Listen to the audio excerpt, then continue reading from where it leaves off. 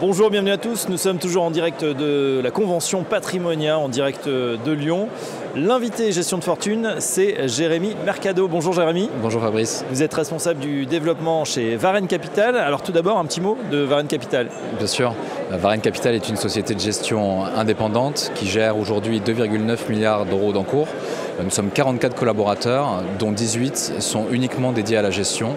Nous avons une gamme de fonds restreinte avec euh, trois véhicules, Varenne Valeur, Varenne Global et Varenne Sélection. Et puis euh, nous avons cette particularité que dans chacun de ces véhicules, vous retrouvez quatre moteurs de performance que nous utilisons de manière concomitante. Le long action, trois autres moteurs euh, de performance qui viennent apporter de la décorrélation et un rendement complémentaire, le short action, l'arbitrage sur des opérations de fusion-acquisition et nous mettons en place un dispositif de couverture macroéconomique.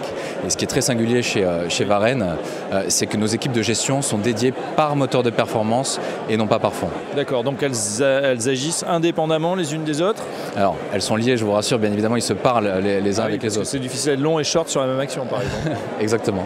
Mais ce sont des stratégies, effectivement, vous l'avez dit, pour euh, voilà, diversifier, essayer de... Apporter de la décorrélation dans les portefeuilles actions, tout à fait. Euh, comment ça s'est passé pour euh, le début de cette année, puisqu'on a des marchés assez compliqués, on va dire, assez volatiles, euh, assez pénibles pour ainsi dire. comment ça se passe depuis le début de l'année, puisqu'on on savait déjà que 2022 avait été un petit peu en demi-teinte alors pour, pour, Varenne pardon, en 2023, bien évidemment sans se satisfaire de, la performance actuelle, on est assez content du comportement de la gamme des fonds de, de Varenne puisqu'on est en territoire positif. vous venez de le dire, 2022 a été une année chahutée.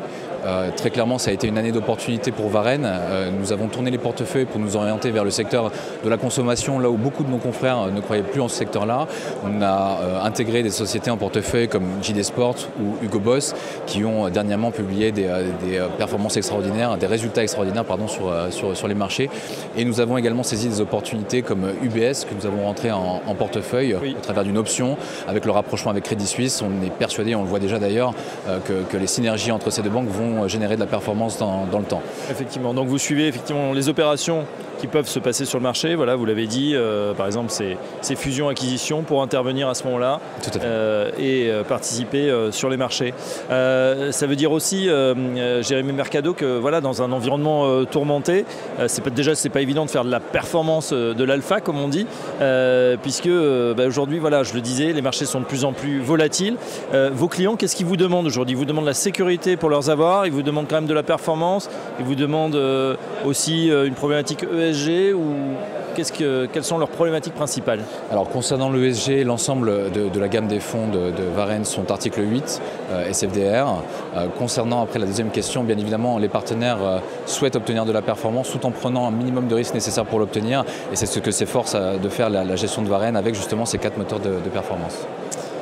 Jérémy, on est ici à Patrimonia, c'est la, grand-messe euh, voilà, pour tous les professionnels de la finance, asset managers, sociétés de gestion, mais aussi bien sûr les, ces conseillers en gestion de patrimoine qui viennent chercher euh, bah, de l'info, des nouveautés, des nouvelles.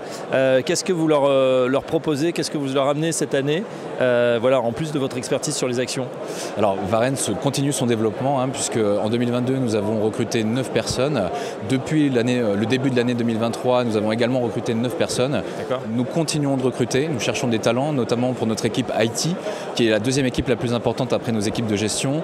Varenne est persuadé que d'investir dans la gestion de données est primordial pour pouvoir assurer une gestion de qualité dans le, temps, puisque comme vous le savez, bah, la gestion évolue. Euh, gérer il y a 20 ans, c'est plus du tout la même chose qu'aujourd'hui, et donc le fait de renforcer ces équipes-là nous permet d'être beaucoup plus chirurgicaux sur, sur nos actes de, gestion. donc gros investissement sur l'humain, on l'a compris, que ce soit sur l'IT comme sur euh, la gestion, bien évidemment. Une dernière question, c'est sur euh, cette distribution auprès des, des, conseillers en gestion de patrimoine qui eux-mêmes vont le répercuter ces performances euh, euh, auprès de leurs clients. Euh, comment vous les, vous les percevez? Est-ce qu'ils sont abattus par ce qui se passe? Parce que c'est vrai que le, contexte est un petit peu morose avec cette hausse de l'inflation, pouvoir d'achat en berne, peut-être un petit peu moins de moyens, un petit peu moins d'épargne pour leurs clients. Comment vous les percevez? Qu'est-ce qu'ils vous disent? Alors très clairement, il y, a, des inquiétudes euh, sur euh, différentes classes d'actifs, euh, notamment l'immobilier pour ne pas, pour pas les citer. je, pense que Patrimonia est un excellent moyen d'échanger, de pouvoir mettre au clair certaines choses, parfois revenir sur des éléments pédagogiques un peu oubliés. Et c'est vrai que l'environnement actuel propose auprès de nos partenaires des classes d'actifs qui auparavant n'avaient plus leur place dans leurs allocations. nous, on garde le même message, on garde nos convictions sur nos large caps des pays développés qui, vont générer de la performance dans le temps.